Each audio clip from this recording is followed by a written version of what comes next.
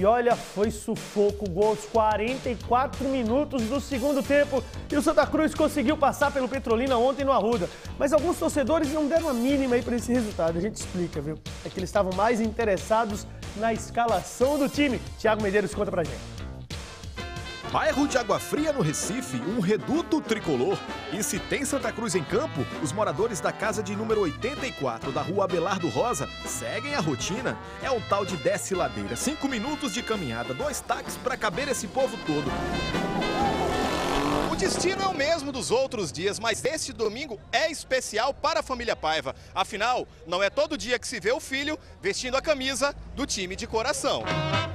O filhão de seu Salatiel Salles e Dona Conceição já está valendo até prêmio. Dois reais é a rifa, dois reais, três é cinco, concorre a camisa de Nininho. Nininho, cria da base tricolor, cotado para começar de frente contra o Petrolina pela primeira vez no Arruda. Um orgulho para a irmã Camila, a sobrinha Camila, a outra irmã Cíntia, a mulher Priscila, o filho Saulo e os pais Conceição e Sales. Seu Sales é garçom e tricolor de berço. Já perdeu as contas das vezes que veio ao Arruda torcer pelo Santinha. Restava aguardar a confirmação do time.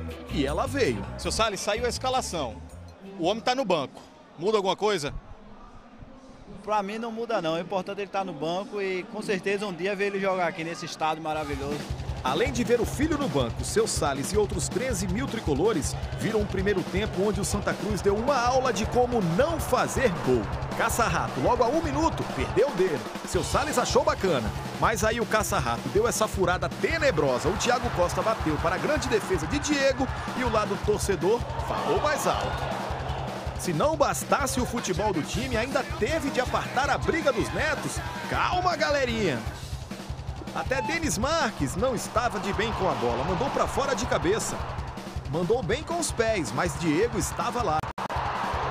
Fim de primeira etapa, 0 a 0 e comentário nada imparcial de um pai tricolor.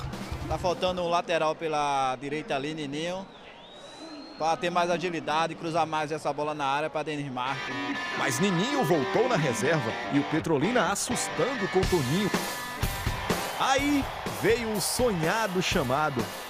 Dupla substituição no diminutivo. Renatinho e Nininho no Santa Cruz. Camisa 13 aos 13 minutos para a festa da família Paiva.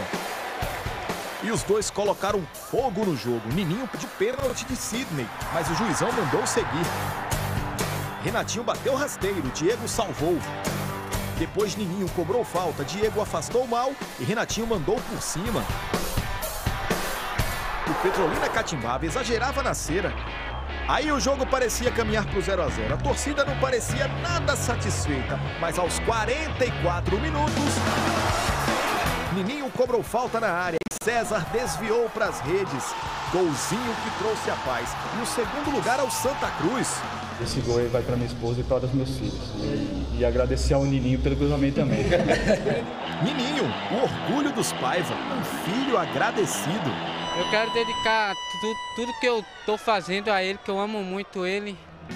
E ao meu filho, a minha esposa e a minha mãe, que isso é, isso é muito emocionante. O gol é pro senhor, pai. Te amo. A emoção em campo se estendeu para fora dele. A felicidade dele é essa e a minha essa também. Uma volta para casa inesquecível, em um sonho que se tornou possível. O domingo perfeito da família Paiva.